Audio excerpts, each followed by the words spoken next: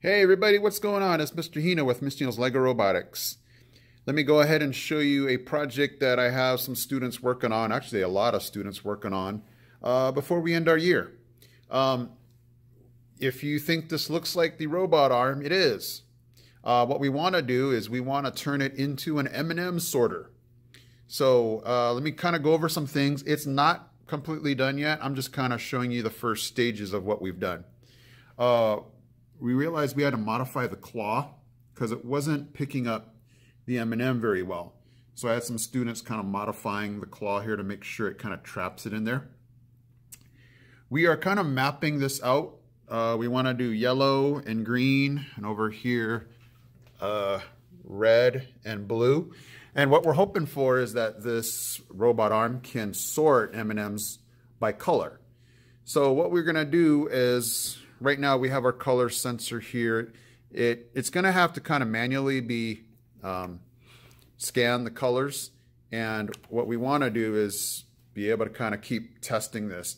So what I wanted to show you at least for now is that it can sort blue and then my students this week want to keep working on the other colors.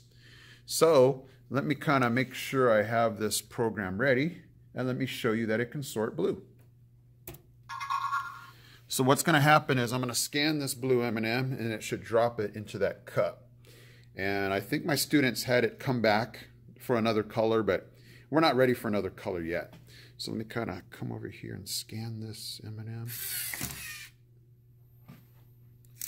So it's going to pick it up. And it dropped into that cup. And we're going to have to work on that to be ready to scan it another color because right now that wouldn't be able to scan another color.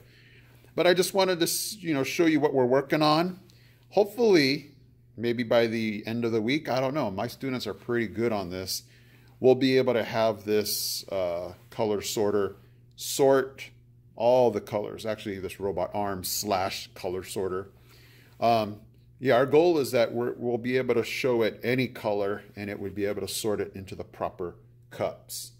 So I'm gonna have to stock up on my M&Ms here. But uh, just thought you might find this interesting. Uh, we've seen this before. We just wanted to be able to try this and program this ourselves. Program is pretty extensive, so uh, once we get this perfect, I'll show you what that program is. All right, guys, just thought you might find this cool and interesting. And uh, have a great rest of your week. I am Mr. Hino from Mr. Hino's LEGO Robotics. I am out.